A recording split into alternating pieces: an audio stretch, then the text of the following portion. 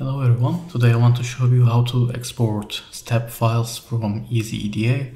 I'm using the desktop version of EasyEDA, but this applies to the web version as well.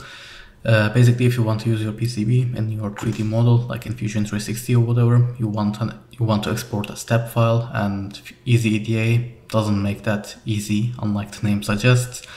There is a way to export a 3D model that you can find here. You can export an OBJ file, but if you do that, you end up with something like this, which is, uh, you know, looks fine, but this is obviously a mesh file, not a, a 3D CAD file. And not only that, but it's also just the dimensions and everything are just wrong. Like uh, this is not 13, 22 millimeters. This is only 34 millimeters. So, you know, this doesn't really work that well, but there is a way to export uh, step files from EasyEDA that is not so obvious and uh, you do need an extra program that's the thing.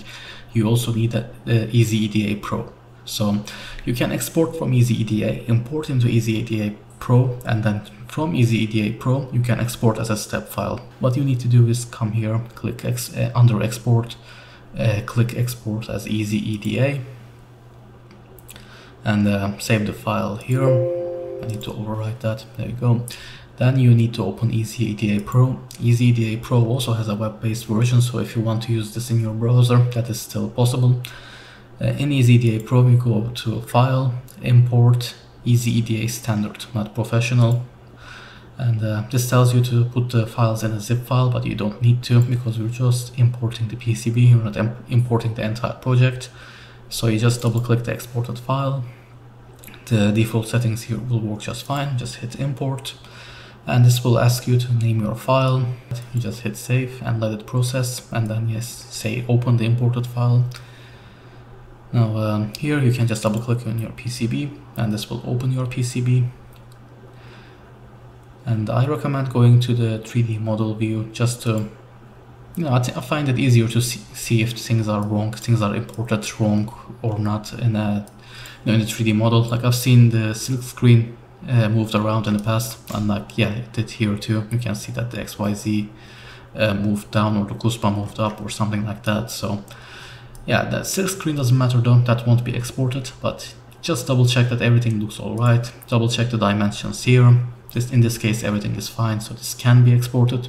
It has the dimensions here in mils but doesn't matter. It's it's the same thing. So here you can go to file export and then 3d file and here you can select between step and OBJ. This is the feature that they really should add to the standard version, but they didn't. So here you select step and uh, you name your file or whatever and hit export.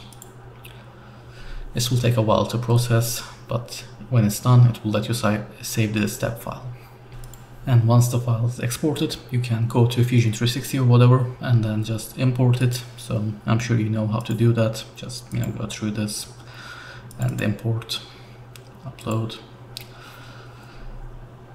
and um, yeah Fusion 360 is cloud based so this needs to upload to the cloud so this will take a second once it's done you can just double click to open your file yeah just double check everything is okay so this side is 28.979 millimeters for example I don't know I guess that's about right. You can measure from here to here 33.974 so 34 basically. I mean the, there are tolerances on built PCBs anyway and this is a step file so no more like polygons or anything like that. These circles are circles. You can use that these to align this on other parts or extrude from this or you know everything like that so yeah this is how you do it it is complicated it's not easy unlike EasyEDA name implies but if you need that step file of your EasyEDA project this is how you do it so I hope this took me a while to figure out some time ago so yeah, I hope this helps you if you need step files. If you found this video useful, leave a like down below and thanks for watching.